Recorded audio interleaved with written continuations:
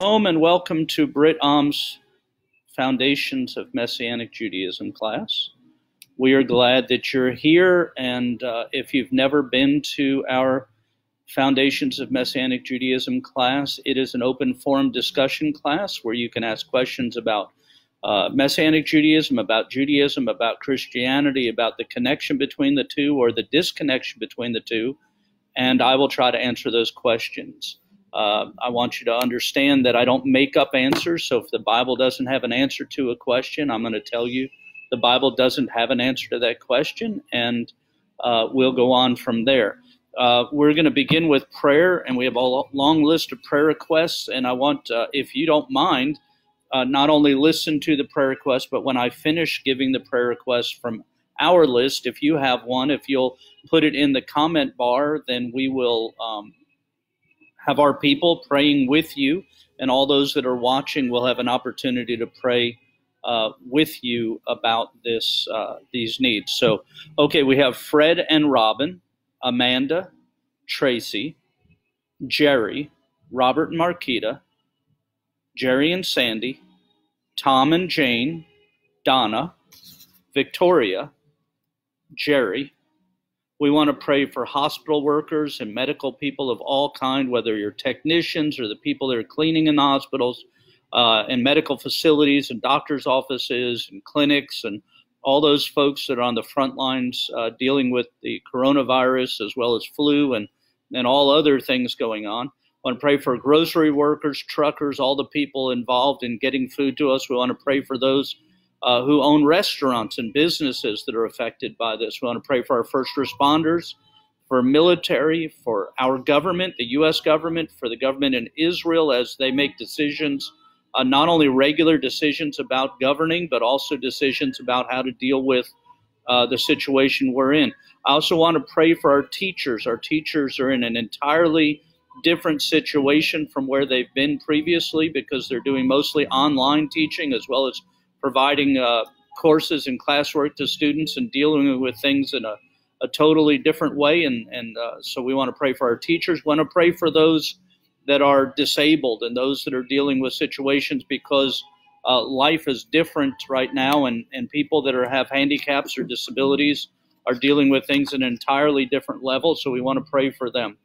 So uh, so please, uh, like I said, post your prayer requests on uh, on the comment bar if you have any, uh, and people will pray for them. Please only use the first name of whoever we're going to be praying for, and also uh, you can post what their situation is. Uh, but if it's like you know, pray for so and so they're committing adultery, don't put that in there. But if they're like pray for so and so they've got the flu, or pray for so and so they need are looking for a better job or something like that, you can post that in the comment bar. But uh, so please do that as we pray. Avinu Malkeinu, our Father, our King, we thank you so much for this Shabbat. Uh, Father, Shabbat was made for man, and it was a gift to us, a time where we can enter into sacred space of rest with you. We ask that your true shalom, shalom would be upon us. Father, we pray for all of these needs that we've been praying for, that there would be healing and provision and blessing.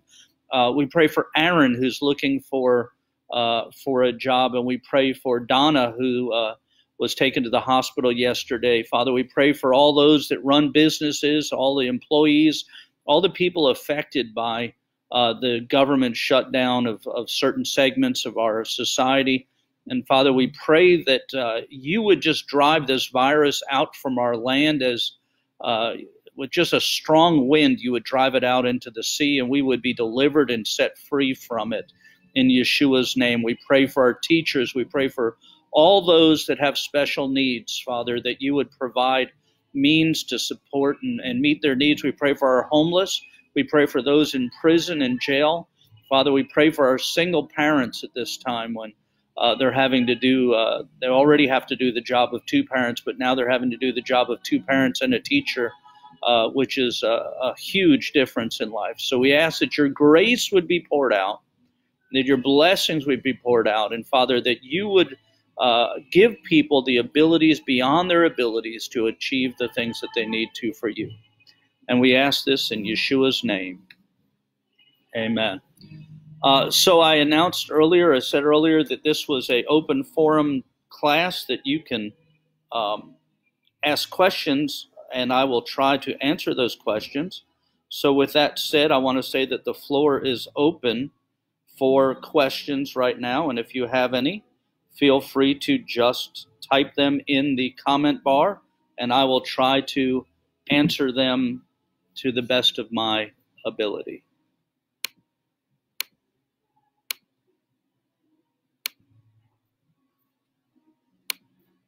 Okay, we have, uh, there's no questions so far on the board, so I'm going to share a few things as we go uh, through this. There's a lot of questions at this time about the timing of the death, burial, and resurrection. Okay, what is the one new man about? Thank you, Betty. Um, the one new man, there, there's a lot of discussion about one new man. There's been books written about it. There's been a lot of teaching about it. Unfortunately, much of the model of the one new man or the teaching of the one new man is actually opposite to what the Bible teaches. Uh, by the way, if you notice, I'm moving back and forth a little bit on the picture. The reason that's happening is because uh, Jonathan Baggett last week said that I wasn't centered on that TV and it was giving him the heebie jeebies. So, uh, so I tried to center on that screen to make him feel comfortable. And Jonathan, if you're watching, it's all about you, man. So anyhow, the uh, one new man. Basically, what's taught about one new man today is that God is bringing Jew and Gentile into one body as one new man. And that is absolutely true. However, most cases it's taught backwards. In other, it's teaching that the Jewish people will join Christianity uh, and all of its forms and functions, where the Bible teaches that uh, Romans 11 that there's an olive tree, and because of unbelief, some of the natural branches of the olive tree were broken off, and then some wild branches or the Gentiles were grafted in to the olive tree of Israel. And then it talks about so some of the branches, not all of the branches. We have to remember it's not all of the Jews that fell into unbelief. There were hundreds of thousands of Jewish believers in the first century. But some of the Jews, some of those branches were broken off because of unbelief, and wild branches were grafted into that olive tree.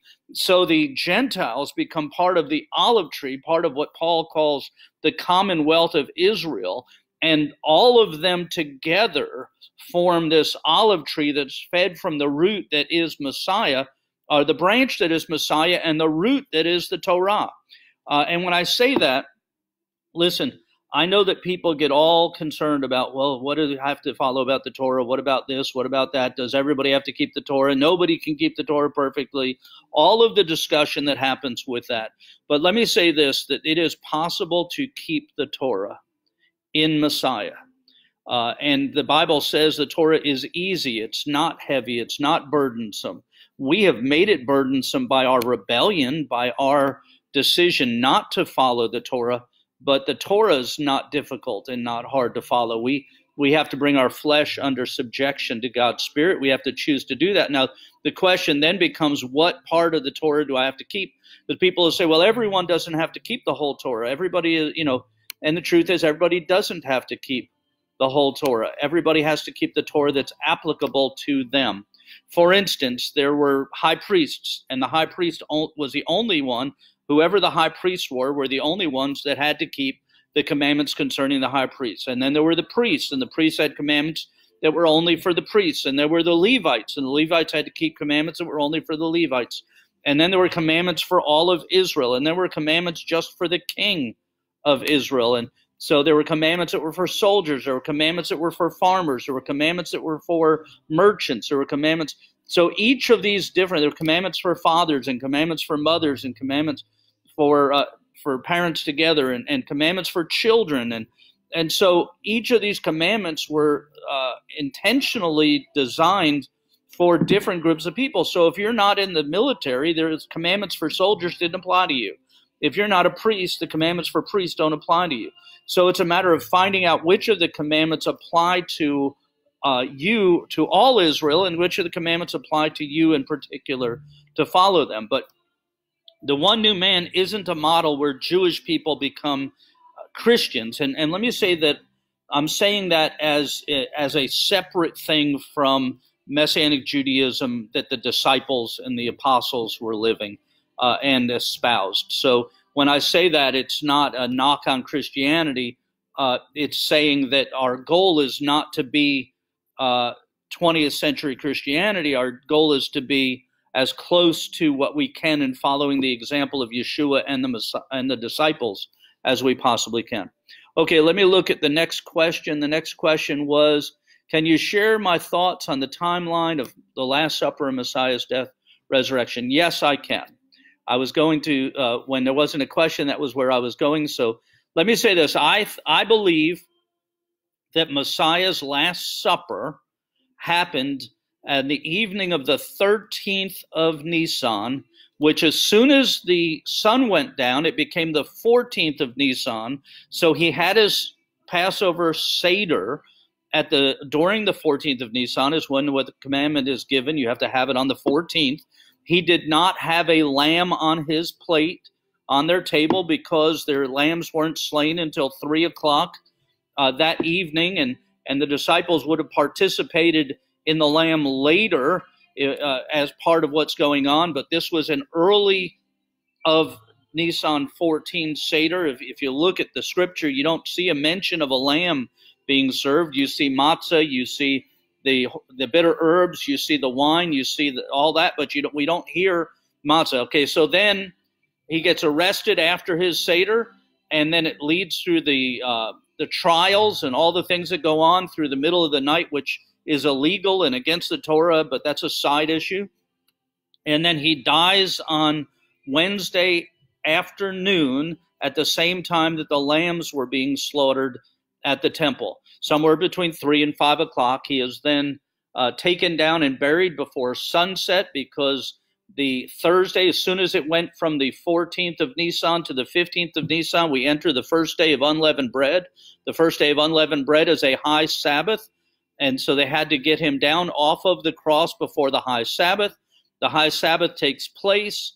Uh, and then after the high Sabbath, we have uh, the time of and being in the ground. Three, he's in the ground three days, three nights, and I believe he resurrects right at the point of which Saturday ends and Sunday begins on our calendar at first fruits uh, on first fruits. So that's uh, my take on the death, burial, and resurrection and the timeline of how that happens. And uh, if you email me at Rav Eric, that's R A V E R I C, at britam.org, I can send you a, a, written paper that gives all the reasons. For instance, there has to be uh, in between Thursday and Saturday, there has to be a time for shopping because the women go to buy spices. If we had a Friday crucifixion, uh, we don't have a time for the women to go shopping for spices. There's uh, when the the uh, coming entry into Jerusalem happens, all those things. So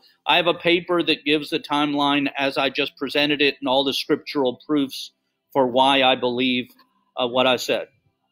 Okay, Christy.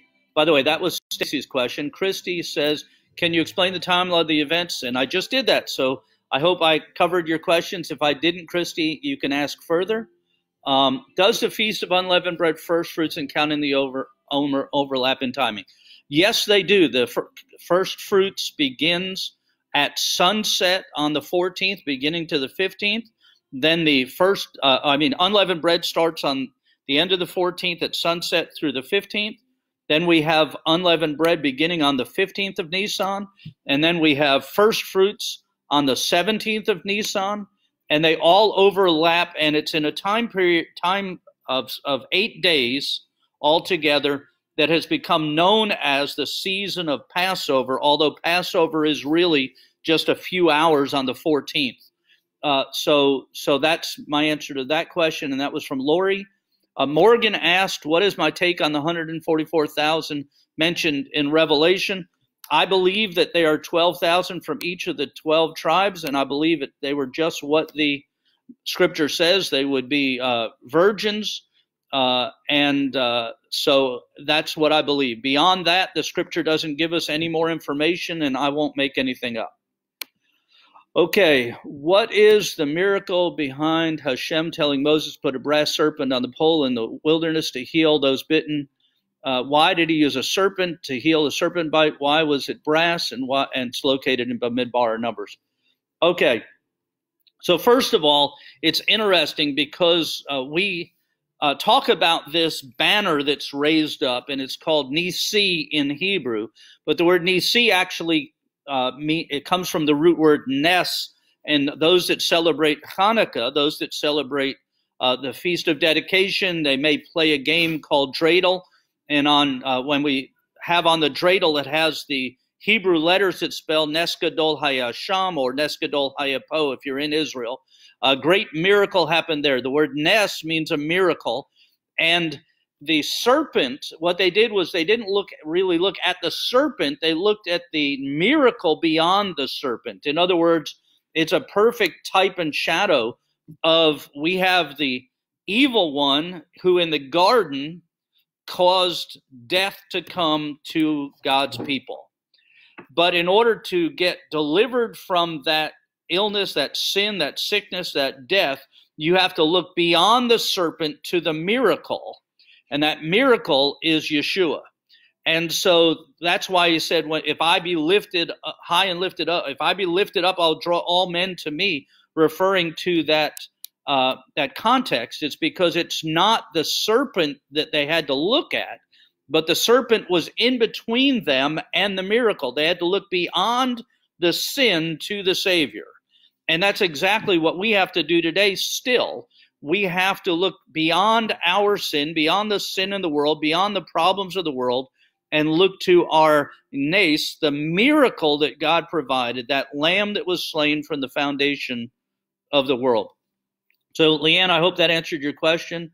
Uh, shalom, Michaela. Good to see you. Shalom, uh, Dingley. And Joe says, What do you say to someone who claims to be a believer in Messiah? but doesn't walk as he walked. Um, I can tell you what the scripture says. Uh, the scripture says that uh, if you uh, claim to have faith without works, uh, uh, show, show me your faith without works, I'll show you my faith by my works. Our fruit shows whether we're a true believer or not, or at least what level of believer we are. You know, M- Matthew's 5 says, uh, whoever does and teaches others shall be least in, to violate the Torah uh, shall be least in the kingdom. Now, it does say they're in the kingdom, but it says they're least in the kingdom. So I'm not going to judge whether somebody is uh, redeemed or, or not, but I will say they're not walking as a redeemed person. There's not fruit in their life of that redemption. And those people I pray for uh, and try to teach and share with. Okay, it's nice to see you, Anita and Barbara and Dana. Uh, Jan asks in Matthew, uh, it says, Again, a second time he went and prayed, saying, My Father, if this cup can't pass away from me unless I drink it, your desire was the cup the cup of wrath of God. I don't believe it was the cup of the wrath of God. Um, I believe it was the cup uh, uh, in the same way that um, we drink of his blood, but we don't drink of his blood. This was part of the redemption story, and Yeshua was basically not saying anything about the, the wine or the drink in the cup. He was saying, if there's another way, if there's any way to do this, let it pass away. But if not, I'm going to do what you desire. And I can tell you in my life that I've I've said those same things. I have lots of circumstances, situations in my life where um, I, I the Lord asked me to do something that was difficult. It was painful. It was uh, and and not because of something I did, but because of something someone else did. And so I do not believe Yeshua consumed or became the wrath of God. As a matter of fact, in Isaiah it tells us he became the sin offering, the guilt offering. Rather, it, he doesn't say he became guilty and that's important for us to remember.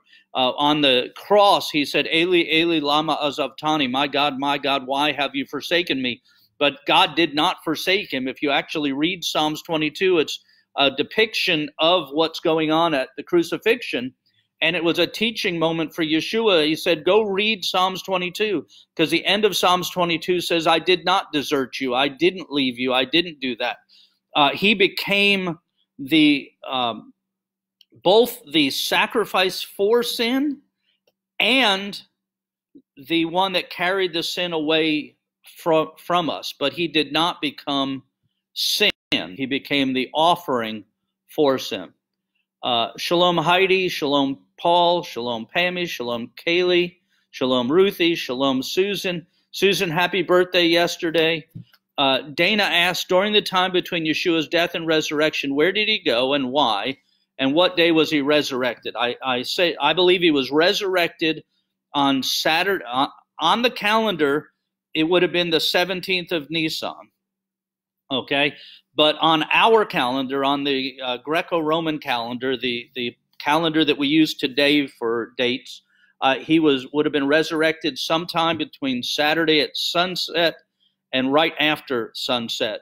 Uh, it says early in the day, and the day begins at sunset. So, what did he do during the time between? I really don't know, other than the scripture says he went down to Sheol and he got the keys of death, hell, and the grave. And it, it says that he uh, uh, that he preached to the lost. Now, how all that happens, I'm not sure, and we're not given any details beyond that. Uh, but the other thing, and the most important thing that he did was uh, that he went to the heavenly tabernacle and uh, he applied blood to the mercy seat to fulfill uh, the sacrificial need of atonement for us.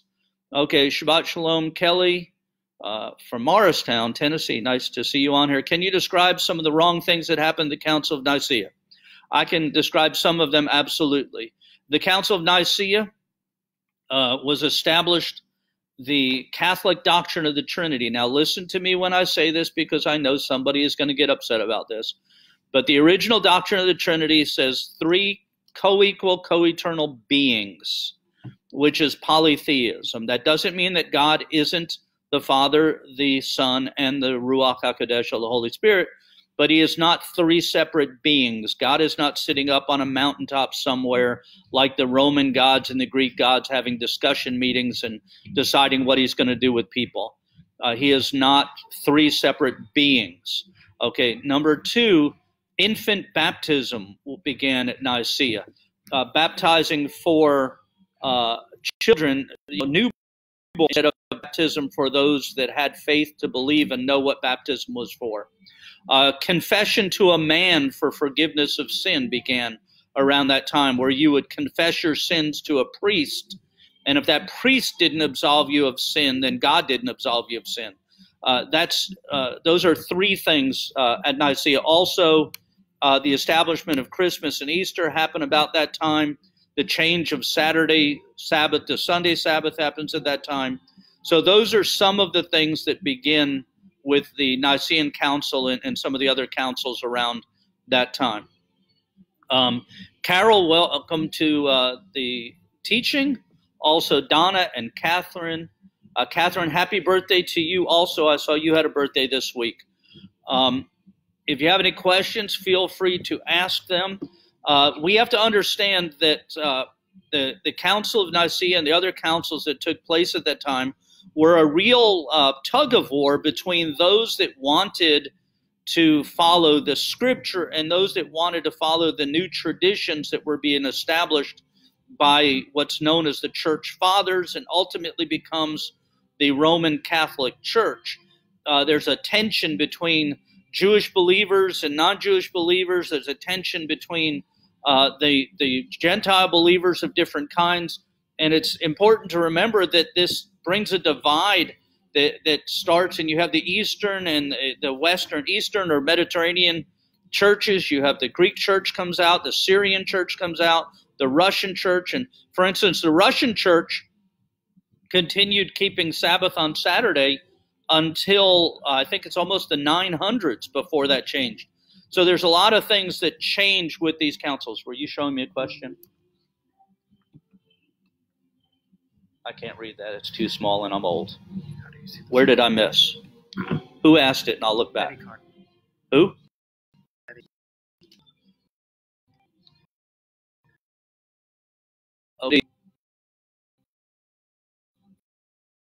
From going all the way back, question asked the one I mentioned. Okay, there's how often, how, how do I see the story of Ruth as prophecy in the end times? I believe Ruth is a great story of uh, Jew and Gentile becoming one, of Jewish of Gentiles being grafted into the people of God.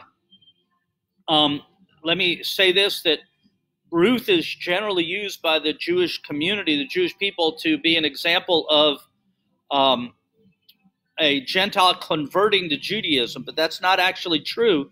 If you look at the scriptures, you'll find that Ruth is called a Moabitess all the way through the book of Ruth. She's never called Ruth the Israelite, she's always called Ruth the Moabitess. And she is a great example of someone who uh, became a part of Israel.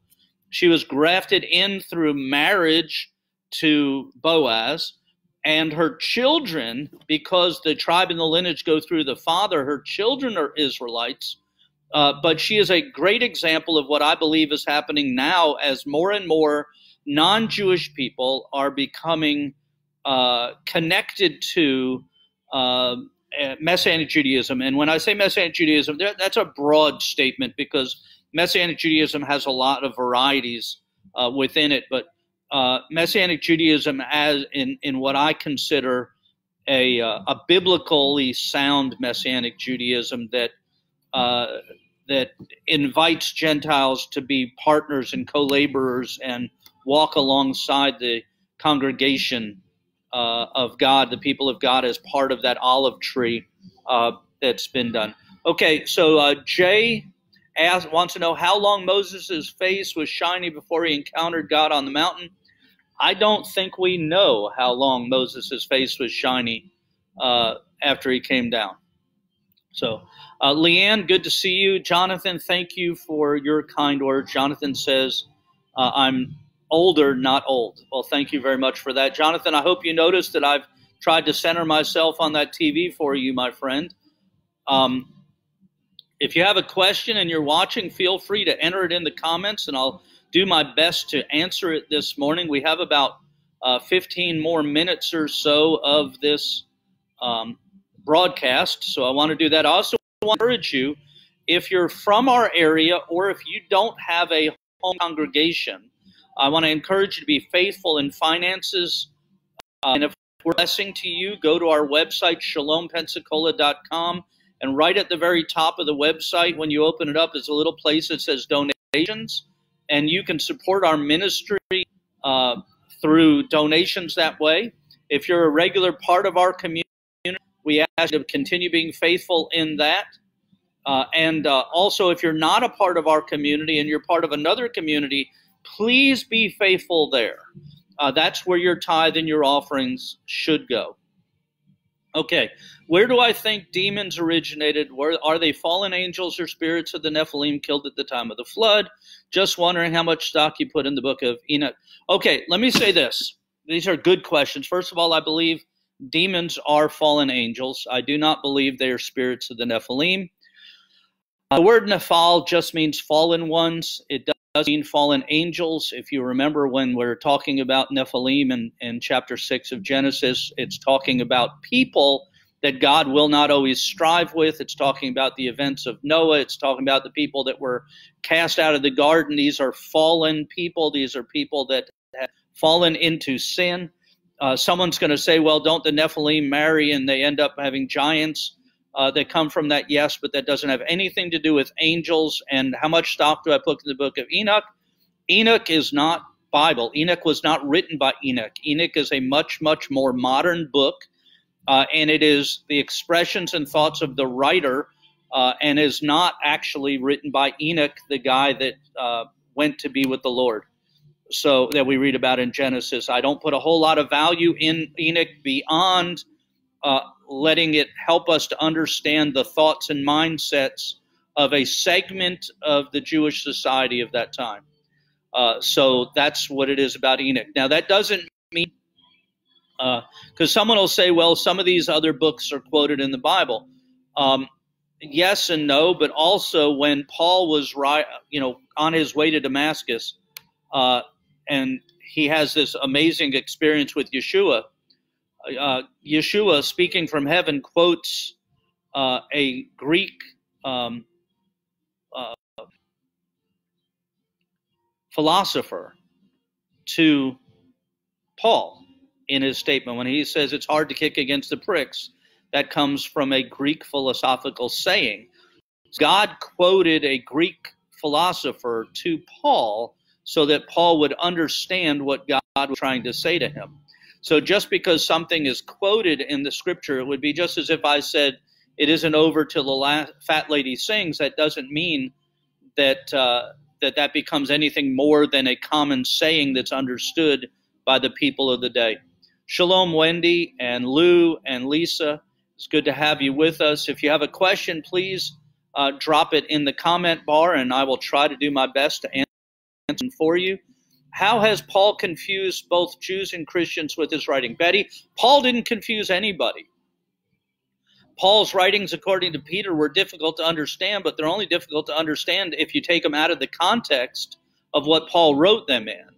Paul writes to different groups of people, and if you've read my book, Galatians in Context, in the very beginning, I give a good example. If I were a dietitian and I was writing a, writing a series of books, and I wrote a book to anorexics, and I wrote a book to um, to obese people, two separate books if I wrote in the book to anorexics, I would say if you don't start eating more food and con- consuming it and keeping it in your body, you're going to die. And I wrote to obese people and I said, if you don't stop eating so much food, you're going to die. And then I took those books and put them into one book uh, with identifiers of when I was talking to which group. But you took the identifiers and the context out, you would think that I was speaking out of both sides of my mouth instead of understanding that I was talking to people. For instance, the book of Romans is largely written to uh, Jews, uh, or uh, Jew. The early part of Romans is largely written to Jews, speaking about their interaction with the Gentiles. In, in chapter two, it says, "If you being a Jew," and then it talks about how they're not behaving godly, which is causing Gentiles to fail to keep God's word in the right way. The book of Colossians, however, is written to Gentiles. So when you read the books, if you identify what the context is, the context of what they're talking about, the context of time, the context of what's going on, the context of the problem that they're having, you, there's no confusion at all. It's just when you look at them as if it's one book written to one group of people with no differentiation between them, then you have problems. But Paul's writings are easy to understand if you keep them in the context that Paul wrote them. It's only when you take them out of the context that causes problem. Is first fruits always on the first day of the week or always three days after Passover?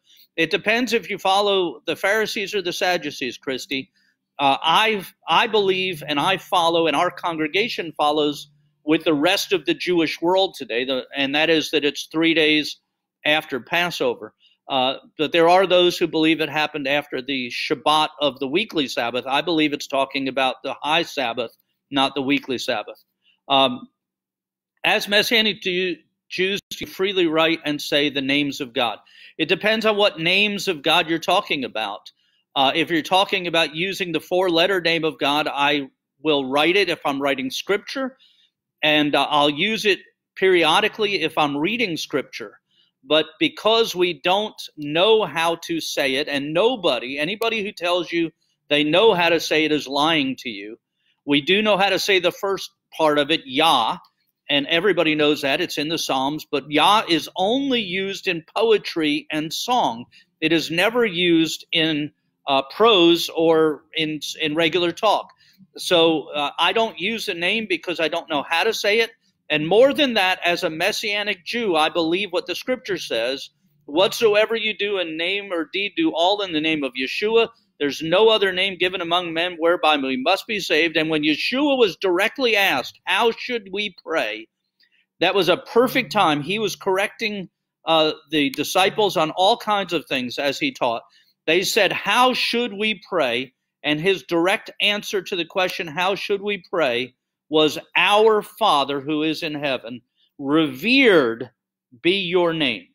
So uh, there's no need for us to know the sacred name of God and how to say it.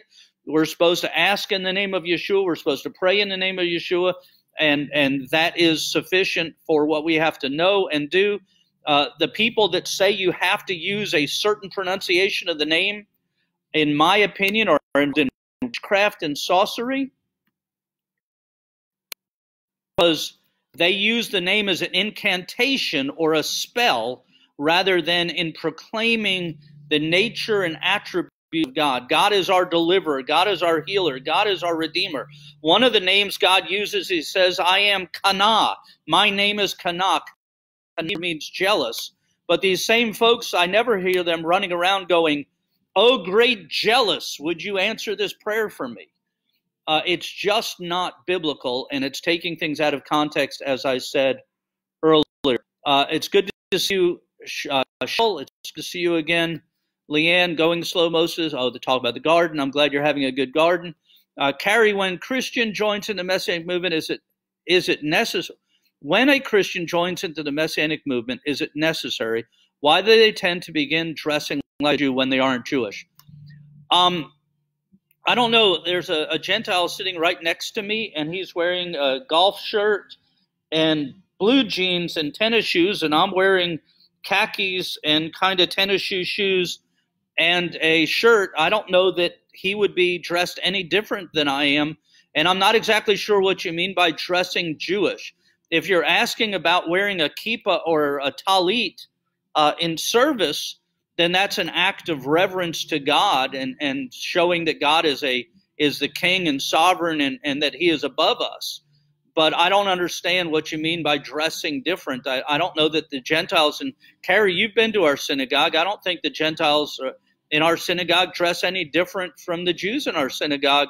Or, I mean, if I went to the grocery store right now, which I'm not going to do because it's Shabbat, but if I were to walk in a grocery store, you wouldn't see me any different than everybody else walking around in the grocery store. So I'm not really sure uh, what you mean. Maybe you can uh, to your question, and I'll, I'll look at it again. Uh, I'm struggling with explaining to my congregation about how Passover is not on the same day each year, uh, but the Christian events. Okay, the difference is, Bob, that the Hebrew calendar has 360 days in a year while the Roman calendar has 365 days of the year. Nothing in the Bible is set to the Roman calendar, it's all set to the uh, Hebrew calendar. And so everything in the Bible deals with it from a Hebraic biblical calendar context. Uh, that would be for the same reason that people would say, um, I don't understand why Passover doesn't happen on the Mayan calendar like it should. Uh, you know, I'm following the Mayan calendar, and it just doesn't fall on the same days as the Mayan holidays. Uh, that's just not how it works. In order to be biblical, you have to follow the biblical uh, calendar. Okay, Lori, good to see you again. Thank you. Uh, Bob and Darlene, thank you. Ruthie, it's good to have you with us. What is my opinion on the validity, validity of the song of the Sabbath sacrifice? Um, I'm not exactly sure what you mean by that.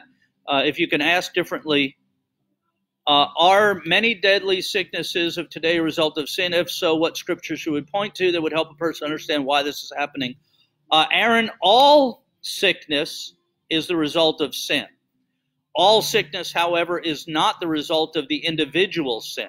Some sickness is the result of the um, of the person's sin, but some of it is just because sin is in the world, and uh, I would answer that by going right back to Genesis when uh, Adam and Eve were taken out, driven out of the garden, and uh, sin and death entered into the world. And through Yeshua, he conquered sin and death. And so prayer is the way to overcome sickness.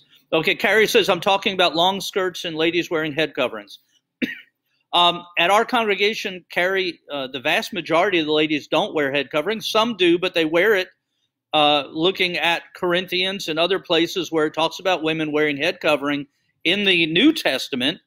And uh, so they align themselves with uh, the understanding of, of wearing a head covering. Uh, it's not required, nor are wearing a, a, long skirt. My, my wife wears a long skirt, but that's uh, what she wore when she was, for those that don't know, my wife was adopted as a child. She does have uh, a Jewish family, that she was uh, her ori- original family was uh, was Jewish, but her adopted family was not. She was raised in a Christian home, and she's wore a long skirt all her life, uh, and always does, except you know around the house when she's cleaning, and then she'll wear some kind of pants or whatever she wears cleaning around the house.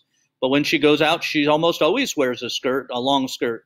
But uh, that's just what she wore as a Gentile. So uh, I walk around town, I see women in long skirts that go to churches all the time. I'm not sure that that would I would say they wear long skirts because of that. Matter of fact, uh, most of the Assembly God, I used to travel a lot and teach, and most of the Assembly God or Pentecostal type churches, uh, the vast majority of the women years ago all wore long skirts, and none of them were Jewish.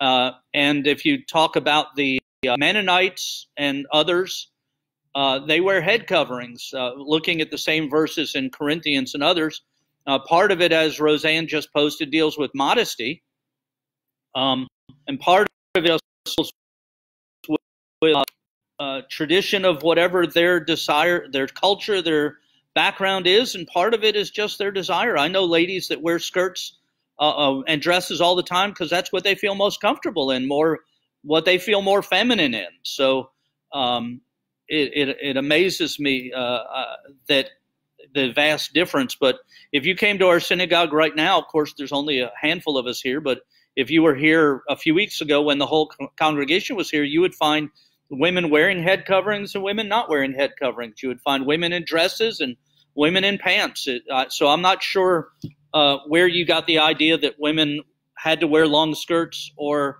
head coverings, or for that matter, that I require in any way women wear head coverings to be part of our congregation. So, anyhow, but thank you for your question. Uh, Betty says, I wear my head covering to remind me of who I belong and honor and respect my husband's covering. It's a, a good statement.